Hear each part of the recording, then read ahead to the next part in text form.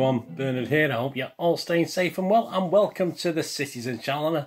A new feature, yes, a new feature. We call him Managing City, yeah, where we have a look back at uh, some of the city managers. How many we're going to get through in all this time, I don't know. I mean, there may, may not be enough time to do it, might there? All the, all the ones we've had over the years, but uh, yeah, all from the legends to the not so legends to the guys who did a good job to the guys who were absolute failures, let's be honest about it. Uh, looking back in hindsight, uh, we can say that. And some of them we actually knew were going to be failures before they actually took over. Obviously, some of the older ones and some of the older, uh, some of the newer managers, if you like, respectively.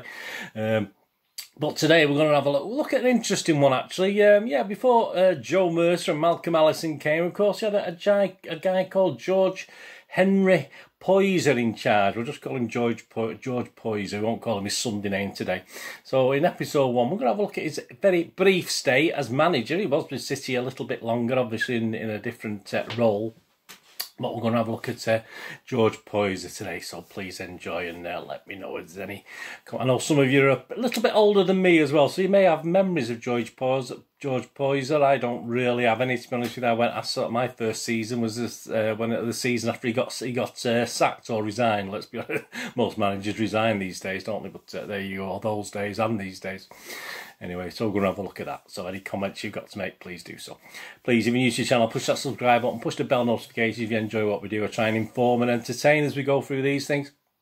You also see stuff on my film and TV channel, so that's any just have a look at that, or if you know somebody who might be interested, you want to have a break from football. Links on screen for Facebook and Twitter, so if you follow a friend me on there, I do check every couple of days and follow a friend everyone back. And of course, all as I said, all your comments are welcome on, on Mr. Poyser or or anything else you want to talk about City. Yeah, it's always welcome. It's it's nice to get new guys commenting and, and adding their thoughts, and I try and I try and reply to every every comment I get. Right, please, no chance to comment. Just give us a thumbs up. I mean, I'm trying to, I'm sort of struggling to get 20 likes for these city ones. So if you can just do it now, it takes a split second. And Obviously, it's nice to get views, but it's nice to get a little thumbs up. You feel a bit more appreciated. Right, born 6th of February 1910. Yeah, 1910 uh, from Mansfield. There you go, from Mansfield. Uh, he liked, uh, George Poyser liked a, a, sort of scout around the country. He liked, he liked travelling. He, he, was big into travelling and uh, and as an assistant manager to Les McDowall, uh, he did some mileage up and down the country seeking out uh, talent for City. Yeah, he come up with some uh, good names over the years. I mean, his six years alongside McDowall hadn't tainted his reputation at all when he was asked to take over the manager role. I think McDowall was there about 13 years or something like that. Uh, perhaps if the board had been braver, and looked elsewhere. There's no doubt that uh, Poyser would have would have stayed on in a capacity at City. He was good at what he did. Yeah, as I say, as assistant manager, as actually scouting around the country, he covered a lot of miles. He was actually good at that. So, if the board had not uh, looked to George Poyser as a safe pair of hands, uh, no doubt he would have carried on scouting for City over many years. I think I don't think there's any possibility that he would have left the club. He'd had previous managerial experience at, uh, at Dover Town, uh, very briefly, and Notts County. Yeah, uh, Notts County had taken uh, this this team to the FA Cup quarter-finals in 1955. Uh, I think he joined City about 1957 or something like that. Um, so he'd, he'd, done an okay job, uh, yeah, with Notts County. And his playing career, he was, he was a defender, he was, he was a left back.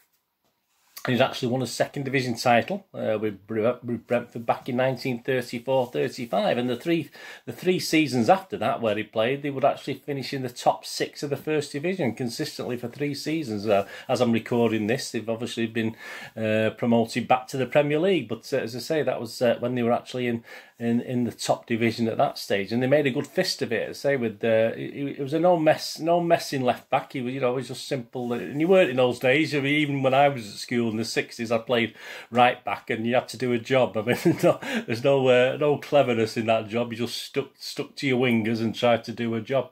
Uh, he was actually inducted into the Brentford Hall of Fame quite recently in 2018. So there you go. Obviously, there's a lot, still a lot of uh, love out there for uh, this uh, Georgian at uh, Brentford. He also turned out to playing for Port Vale and briefly for Plymouth Argyle. Uh, the appointment at the time, Alan Douglas was the city chairman at the time, and he explained the appointment, citing that uh, Poyser knew the playing staff well. He did. I mean, as I said, he, although he wasn't he wasn't hands on. We'll discover that later. He, he, knew the playing staff well. He knew the strengths as a scout, as that was his main thing, as what he was good at. He knew their strengths and weaknesses, uh, and of course, uh, when I, when offered the job, I'm not sure he had to think too long and hard about it. As I say, he, he did he did tell the board or convince the board, claiming that well, the board say this, and I've no I've no proof that George Poyser said this, but uh, that he knew that where we could strengthen, and uh, he should have he should be able to take City back into the first division, which I say we we didn't want to be a bit of a, a yo-yo club at the time, but. Uh, it was uh, it was a bad time, but we'll go on to that a little bit more in the moment. Uh, though a popular figure with City fans, I think he was uh, as assistant uh, to to McDowall at the time. Uh, this appointment, yeah, it wasn't exactly uh, sort of to say it received a lukewarm reaction. I think that's what we can say from the City fans. They weren't overly impressed. I mean, don't forget some other clubs. We'll mention some names later.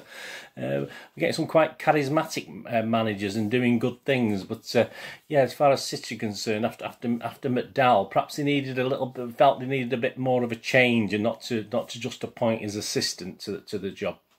Um, both strikers, Dobing and Harley, yeah, it's not just the fans were a bit despondent, but they were equally unimpressed. I mean, they were sort of stalwarts of City's attack at the time, and although we'd just been relegated, these guys quickly jumped ship with the appointment of Mr. Poyser uh, and to the dissatisfaction of the City fans, uh, Dobing and Harley, whether it's Poyser's appointment or the fact they just didn't want to play for a team in the second division, well, we'll never proper know. But they're, they're the two guys who sort of led City's attack and they jumped ship very quickly, uh, Dobing and Harley. Uh, it did appear a thankless task as he took on a, a role of a manager of City just relegated, but the fans had started to desert City in the, in the droves. Um, we possibly, I mean, you think back to the late 1990s and, and obviously down to the third tier. But this this in itself at this period in time was probably our lowest lowest point and, and sort of matched that really matched that later time. Uh, it's probably uh, United had started to you know well they had been winning things. Obviously United had become the, the big club after the Second World War. City had struggled along. They'd done all right in the fifties, but by the sixties we were struggling and the, and the crowds and uh, were dwindling. You know we'd gone from one of the best supported teams in the country. and We were struggling just a little bit uh, to get the fans through the gate. So it wasn't. It was a bit of a thankless task he took over, to be honest with you. Uh, since that time. Uh, yeah, his scouting prowess, so of course, was always going to be good. That was going to change, was he? was still going to uh, be able to pick up good players. Uh, in his first season, 63-64, which obviously was his only only full season as it turned out, he made two good signings, uh, Derek Kevan and Jimmy Murray, who obviously came and were scoring plenty of goals. Yeah, I mean, injury to Jimmy Murray in, in that season obviously started to put a bit of a dampener on the season as far as City was concerned. but we actually made it to the semi-final final of the fairly new, at that time, fairly new League Cup. Uh, uh, not much is spoken about this, yeah. And we lost over two legs to Stoke City. We lost two. Uh, we lost two 0 at their place. Uh, I think it was the Victoria Ground at the time, and we actually beat them at uh, Maine Road at one 0 But unfortunately, with it a two leg semi final, we lost two on an aggregate. So we missed the opportunity of getting to a final. Though it was a two-legged final in those days, it wasn't a Wembley appearance, but uh, you did play a home and a home and away leg in the final. So we just about in his first season missed out on that. And some, as I said, some early promise in the league sort of started to peter out at the turn of the year, and obviously a bad run in January and February put an end to any hopes of a promotion push as far as the City is concerned. And say we did have a, I think uh, Jimmy Murray picked up a, a bad injury as well, so that affected it.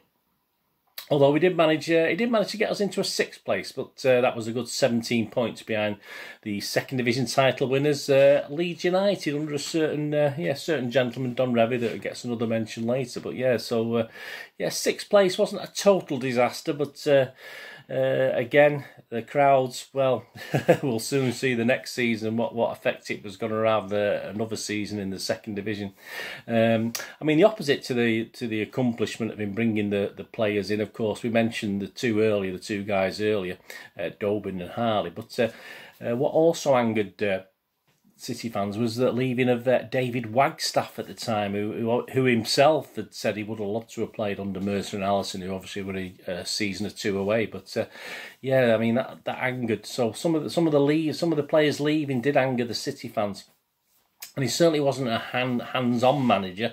Uh, he was never really out on the training pitch or anything like that. Uh, and it was sort of obviously sat in his office uh, smoking his familiar pipe. It's very. I think there's a, an image we've seen as well where he's actually got the pipe in his hand. But uh, yeah, it wasn't very often. And some of the players commented that he always seemed to have a, a pipe in his mouth, a pipe, a pipe in his mouth so he wasn't a sort of hands on. But he did preside. He did make the decision to to uh, interesting one with Harry Dowd. He scored one goal for Manchester City. He did make that decision in February 1964 where he played uh, obviously an injury to Harry Dowd's hand forced him to play out. He swapped goalkeepers, and of course he equalised a Colin Bell goal against Bury at, uh, at Maine Road. So at least he did preside over that decision. So that was quite an interesting decision and something we remember to this day.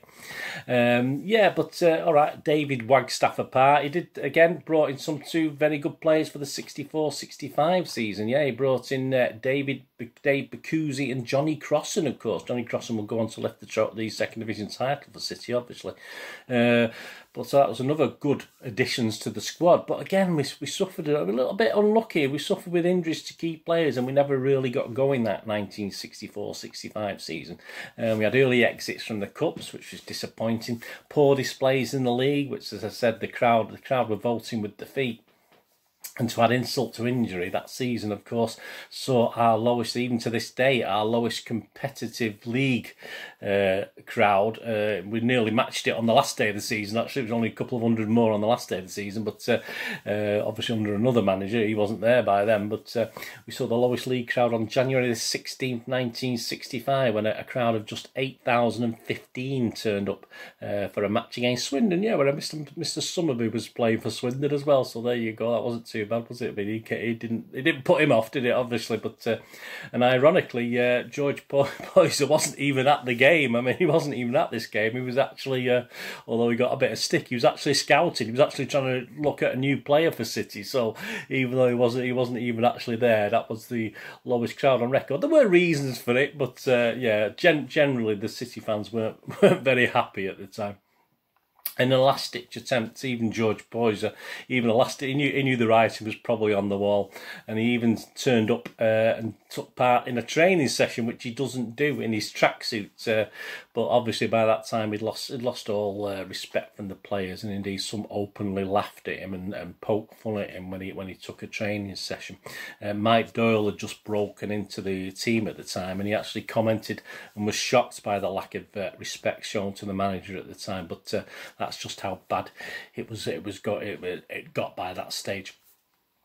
Uh, as it was, he was uh, Poyser wasn't able to sort of keep on with those training sessions and keep the keep the guys on side, the team on side, uh, and so by the Easter, he'd actually resigned. Probably pushed, uh, probably pushed. He probably jumped uh, probably jumped before he was pushed, to be honest with you. But uh, by the Easter, uh, ex-player Fred Tilson had took over temporary charge. Although I think the team was probably picked and run by committee at the time. I don't think it was Tilson on his own, but he was he was classed as a caretaker manager.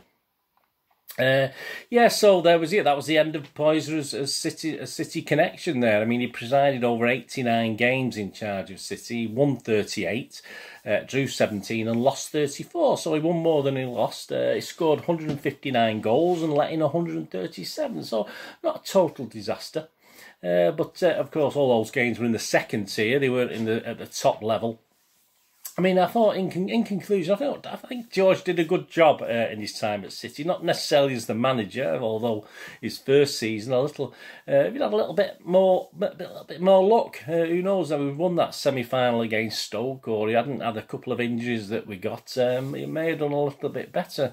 I mean, as far as the the board were concerned at this time of McDowall uh, leaving, he was a safe pair of hands, and uh, it's no doubt he, he, made his best, the best fist of it. He tried his best for the club, um, and as I said, with a little bit more luck, he would have would have been a little bit more successful. But I think even then, even though even then in '63, these sort of less hands-on uh, less coach. Let's say they're not really coaches, are they? They're more they're more managers picking a team and, and leading from from their own uh, manager's office. They don't actually get out there and get their hands dirty. But uh, I think at that stage, more uh, more hands on managers were coming.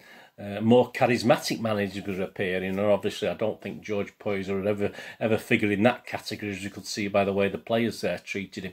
Uh, you had people, of course, Matt Busby's United were doing wonderful things, uh, and they were going to get even better. Of course, we mentioned before the uh, Don Revie, didn't we? He was doing it, starting to do a great job at Leeds, uh, and obviously as an ex-City player, it would have been to see if he got, you know, if we'd give him a go at some stage, wouldn't it? That all right? His career didn't end fantastically many years later, but at the time, it would have been interesting if City had uh, the board had took a chance on Don Revie or convinced Don Revie to come back to City, stuff like that.